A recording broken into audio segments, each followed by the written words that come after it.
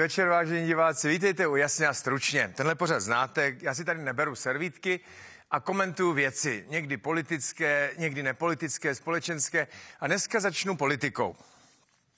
Eh, já jsem tady několikrát mluvil o ministrech na odstřel a důvodech, proč by se s tím něco mělo dělat z pohledu Petra Fialy. Já jsem politický komentátor, to znamená, já si to můžu dovolit. Ministr, ministr neschopný ministr by měl být eh, hledáčku pozornosti eh, pana premiéra, protože on je za něj odpovědný. Jo? To je stejný, jako když jste v práci a děláte mistra, vedoucího oddělení ředitele nebo tak, no tak jste odpovědný za ty vaše podřízený. Eh, nemůžete říct, pojďte, on to voře, on to neumí, ale co já to umím, jo? ale on to neumí. To máte úplně jedno, protože uh, vy jste za něj odpovědný. A když to neumí, tak je to vaše odpovědnost. Tohle to samý platí samozřejmě u premiéra této země a jeho ministrů. Abych to zkrátil, na odstřel je určitě Marian Jurečka za ty zmatky se sociálníma dávkama, prodlevama při výplatách důchodu a tak dále. To je jedna věc. Těch věcí, které on tam zvrtal, je daleko víc a ten poslední je ten zmatek okolo těch důchodů dizidentů, jo? kdy on pořád nám vysvětluje, že nechce odstupovat, tomu rozumím, že nechce odstupovat, akorát eh, nevím přesně, proč nám to říká, jo? proč nevysvětlí tu situaci s těma dizidentama, protože upřímně řečeno, kdyby to vysvětlil srozumitelně, tak jak to skutečně je, tak varná většina veřejnosti mu, by mu pravděpodobně dala eh, jako za pravdu, no ale prostě není toho schopný, tak si teď nese svůj kříž sám, když je to lidovec. Eh, můj názor je, že by mu třeba to ministerstvo zemědělství slušelo víc, ale to je můj osobní názor. Mikuláš Beck určitě prostě špatně, ministr školství určitě, Josef Síkela, kterýmu se v podstatě dá vůbec věřit, co říká, jo, nevím. Určitě je tam eh, několik dalších kandidátů, o kterých třeba jste nikdy neslyšeli, jako Helena Langšádlová nebo pan Šalomoun, ale o těch dneska mluvit nechci. Já jsem chtěl mluvit o Pavlu Blaškovi, o ministru spravedlnosti. To je skutečně démon, jako jeho pověst je hrůzostrašná. Jo? Je to brněnský politik v ODS, vyrostl, jo? je tam desetiletí, zná to tam jak své body, boty, nejen brněnskou ODS, ale um, umí dobře jo, tu, tu jihomoravskou kliku eh, nebo tu, tu vlivnou organizaci Brno a související organizace v okolí eh, na Jižní Moravě použít k celostátní politice. To, to dokázal mnohokrát. Jo. Já taky dokázal mnohokrát, že ví, jak kudy chodí kočky. Jo? Že ví, jak to chodí, že je hold potřeba někdy nějakou korupčičku uh, uh, jako umožnit, jo? pamatujeme si na aféry v Brně. On se vždycky ze všeho vy, vy, vyklouzl, ale všichni tak věděli, že s různýma korupčníma aférama minimálně o nich věděl. Jo? Ale protože mocenské karty a různé obchodování pozic v ODS a výměny toho zastupitele za jiného zastupitele při hlasování třeba eh, na kraji nebo dokonce parlamentu a podobně, tak to on zná, umí dělat dohody a neštítí se v těch dohodách jít trošku dál, než by bylo milý. Ale to se o něm ví, jo. To se prostě o něm ví. Třeba v roce 2010 byl odvolán ministrem, eh, pře, pře, premiérem Nečasem ne, ministrem, předsedou vlády Nečasem z dozorčí rady lesů České republiky. Jo. Pavel Blažek, brněnský advokát, celoživotní právník, jo, byl v dozorčí radě Čes- lesů České republiky. Premiér Nečas ho tam odtaď vyrazil, protože tam byly nějaký pochybnosti o nějakých tendrech a podobně, že tam nemá co dělat. Ten samý premiér Nečas o dva roky později ho jmenoval ministrem spravedlnosti, jen tak mezi námi, jo. Uh, už asi neměl pochyby o jeho morálně volných kvalitách.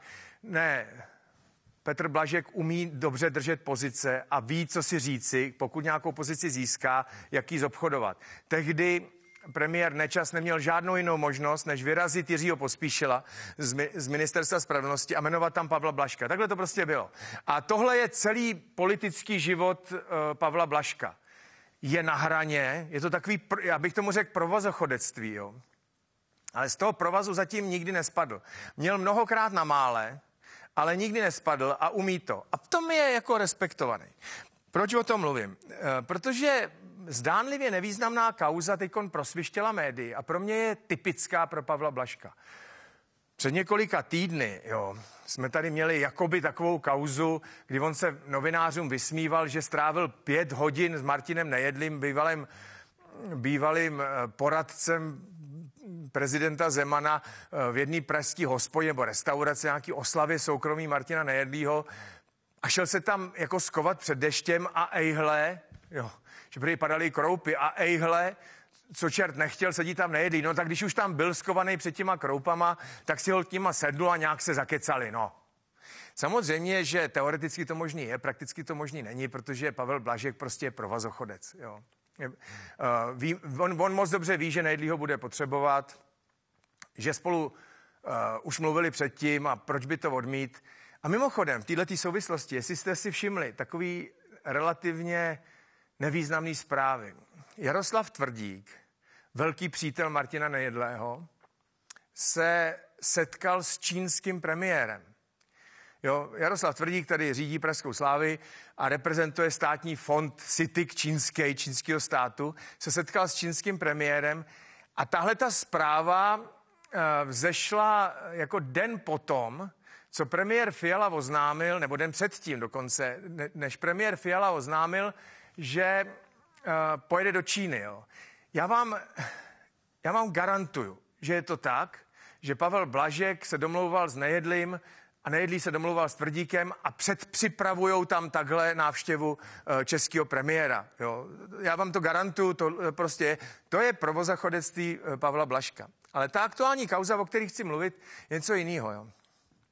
Existuje registr insolvenčních správců a insolvenční správce mm, je mocná pozice. Pokud se podnik dostane do potíží, tak insolvenční správce má samozřejmě za povinnost ten podnik nějak jako zhodnotit, zjistit, jestli je v úpadku, jestli je v úpadku, tak ho poslat do konkurzu, kde se rozprodá ten majetek.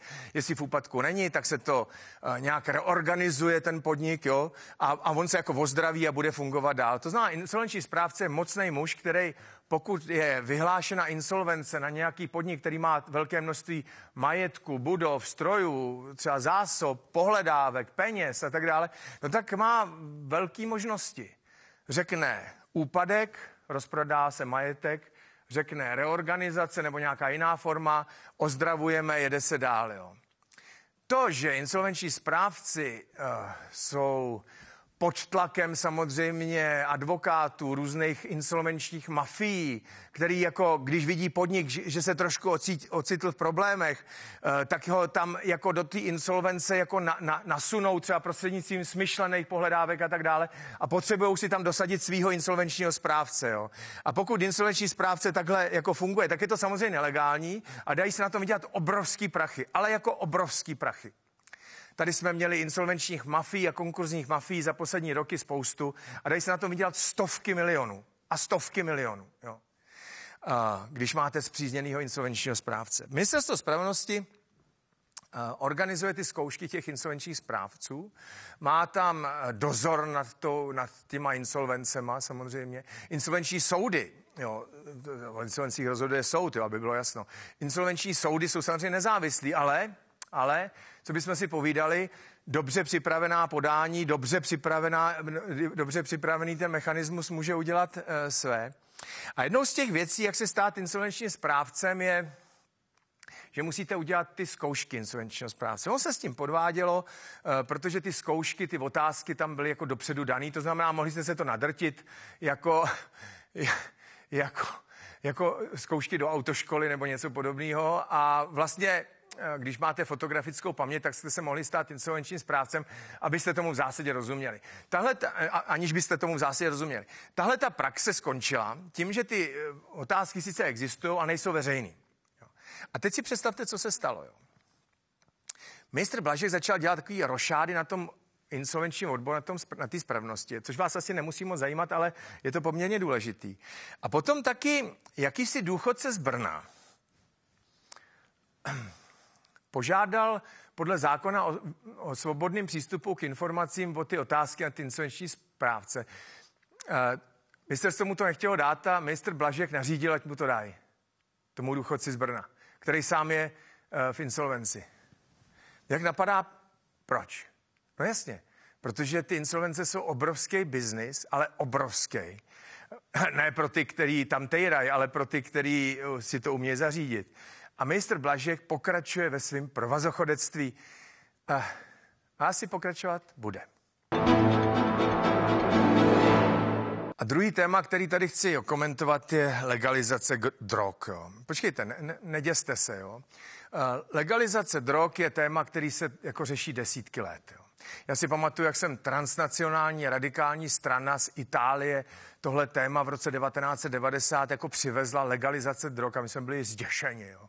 Všichni, protože nikdo si nebude představit, že drogy by se legalizovaly. Když to začali vysvětlovat, tak o tom začnete přemýšlet. Jo. Oni říkají, podívejte, Legální droga je alkohol, nebo ty příznivci té legalizace.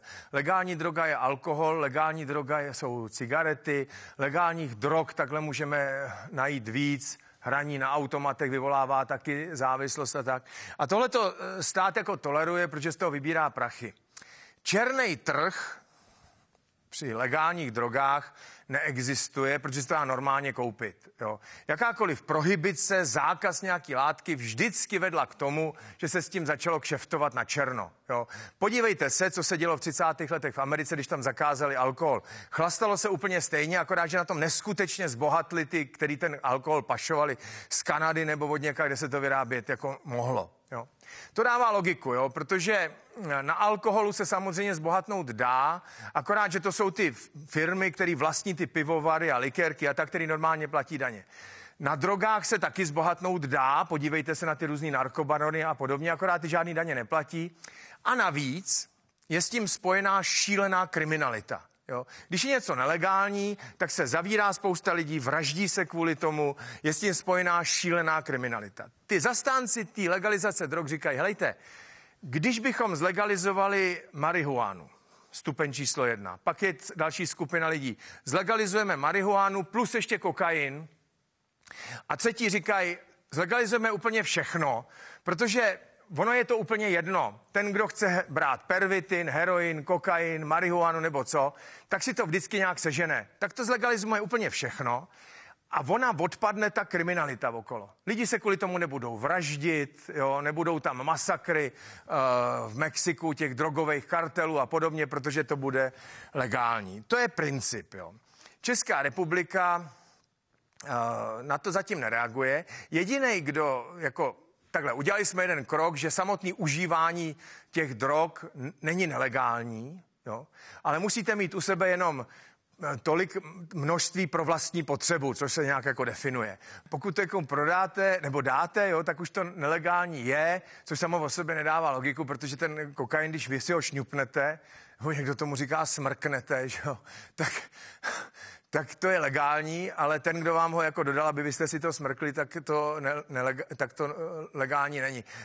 Dobře, nechme to bejt. Jindřich Vobořil, národní koordinátor eh, protidrogové politiky, říká, helejte, eh, ta marihuana by se asi zlegalizovat měla, protože lidi to stejně prostě mají, nebo si to obstarají a ta doprovodná kriminalita za to v zásadě nestojí, to by se asi zlegalizovat mohlo, nebo Minimálně by se o tom mělo diskutovat, to, to říká Jindřich Vobořil. A dokonce říkám, mělo by se diskutovat i o tom kokainu. A tady už říkám, že uh, jsem jako na váškách, protože na to evidentně nejsme připraveni. Třeba holanděni s tím mají problém. Tam to legální je, to hulení, ta tráva, akorát oni říkají, že to přitáhne spoustu kriminality, protože v Německu to není legální. Jo, protože v Belgii to není legální, protože to není legální eh, v celém zbytku Evropy, takže oni ty lidi tam jezdí si zahulit a dělat binec do Amsterdamu. A jim se to nelíbí, protože to sebou táhne prostě kriminalitu, prostituci a, a kuplířství a, a prostě tyhle ty věci.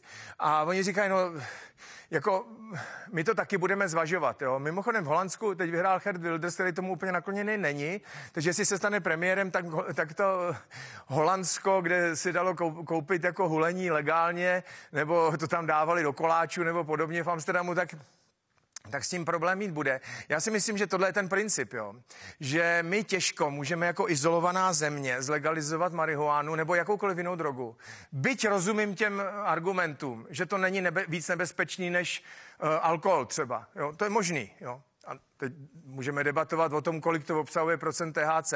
Potíž je v tom, že když to uděláme sami, tak to sem natáhne tu kriminalitu z Rakouska, Německa, Polska, Slovenska, Maďarska, Ruska nebo odkaď, odkaď ty lidi přijedou.